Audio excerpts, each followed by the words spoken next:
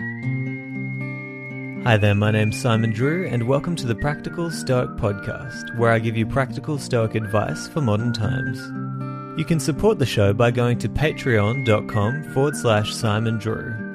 I also do one on one mindset coaching, and you can book in your first free consultation by going to risetothegoodlife.com forward slash coaching. On Facebook, you can join my group, the Practical Stoic Mastermind. But for now, enjoy this episode. Hi there, my name's Simon Drew, and welcome to the Practical Stoic Podcast. I recently received an email from a listener of the podcast, and he said this Wisdom, justice, courage, and self discipline. These are the pillars of Stoicism that I get. Please have a podcast or an interview about where compassion fits into the philosophy of Stoicism and why there is so little to say about it in the Stoic community. Or if there is, then I'm ignorant of where it fits in. So, I thought that this was an extremely valid question, and one that many of you may have asked at one time or another. And I think that this question really reflects why I don't believe that Stoicism can fully be explained with just four pillars of wisdom, justice, courage, and self discipline. Because there is so much more to Stoicism, and if you define it as only four pillars, then there are other virtues and principles that can kind of fall through the cracks, like compassion, for example. And in this episode, I wanted to assure all of you that the Stoics absolutely did encourage us to be compassionate and to have empathy and love and kindness. And I know that if you get your information on Stoicism from chat groups on Facebook, for example, then at times it can seem like everyone is focusing on the part of Stoicism that says you shouldn't be hurt because it's only your opinions about what's being said that is hurting you. But not enough people focus on the part of Stoicism that calls for kindness and understanding. Because although much of what people feel is based on their perceptions, we should never seek to hurt others with our words or to be inharmonious in our communications with fellow people. In fact, to kick off this episode with a word from Seneca, he said, quote, Wherever there is a human being, there is an opportunity for kindness. End quote. All of the Stoics at one time or another taught with compassion. For example, Seneca was always talking about how inhumanely people treat their slaves, and about how horrible the entertainment in the Colosseum was, where people were being thrown to wild beasts and tortured in front of an audience. As I'll talk about soon, Marcus Aurelius believed that how we treated other people was a reflection of our true character, and he taught that we are all one group of humanity, and so we should care for each other as much as possible. Epictetus taught that to be an effective communicator and friend, we should be kind and understanding, and we should know the right time to speak and the right time to listen. And finally, Musonius Rufus taught that we should eat a diet mostly free from animals that are mass slaughtered, and that we should eat vegetables, fruits, and nuts in season, because that is the kinder and more virtuous way to eat.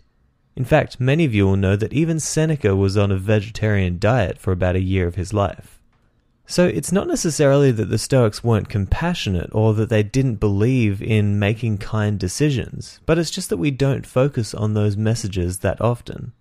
And I'd like to focus on one of those messages right now by reading a quote from Epictetus that perfectly outlines, in my view, the compassionate side of Stoicism. He said, quote, one cannot pursue one's own highest good without at the same time necessarily promoting the good of others. A life based on narrow self interest cannot be esteemed by any honorable measurement. Seeking the very best in ourselves means actively caring for the welfare of other human beings. Our human contract is not with the few people with whom our affairs are most immediately intertwined, nor with the prominent, rich, or well educated, but to all our human brethren. You know, that quote sounds like something that would have been said by the likes of Martin Luther King Jr., or Nelson Mandela, or Abraham Lincoln, but it was said by Epictetus, a Stoic who lived much of his life as a slave and who was exiled for many years at a time. Epictetus understood the indignities of man, and yet he called for compassion, kindness, and the promotion of good.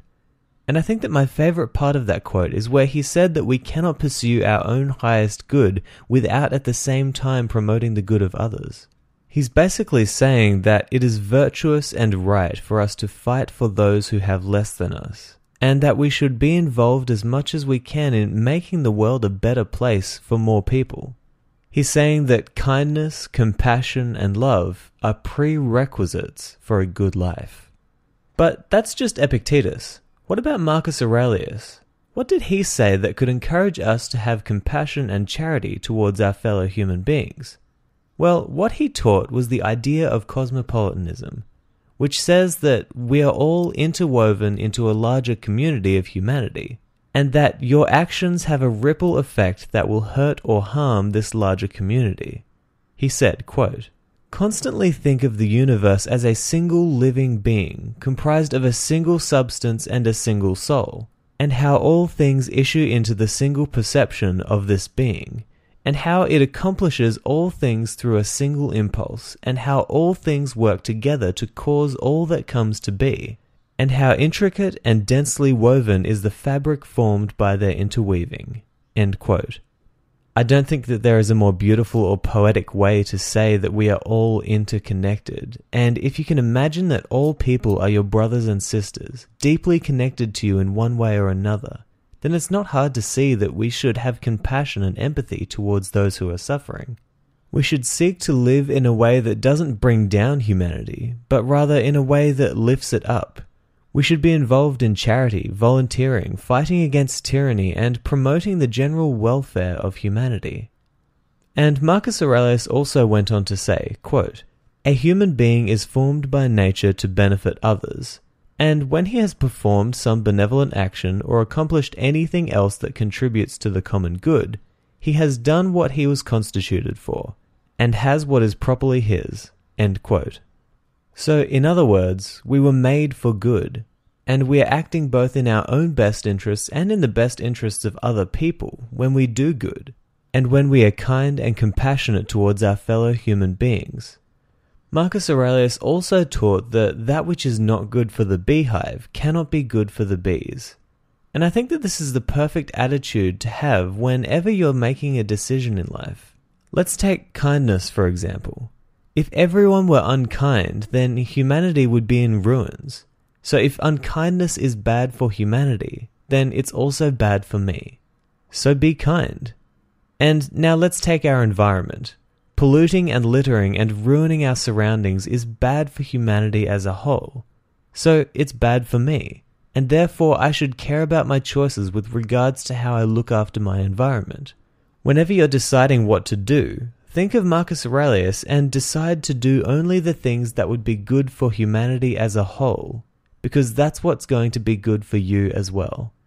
And I want to end this episode with a quote from Seneca that will hopefully inspire you to be kind and compassionate in all your interactions with people in your life. He said, quote, Kindness forbids you to be overbearing towards your associates, and it forbids you to be grasping. In words and in deeds, and in feelings, it shows itself gentle and courteous to all men. It counts no evil as another's solely. And the reason it loves its own good is chiefly because it will someday be the good of another. You know, my favorite part of that quote is where he said that kindness counts no evil as another's solely. You know, Seneca taught that sometimes evil is found not in what we are doing, but in what we are not doing.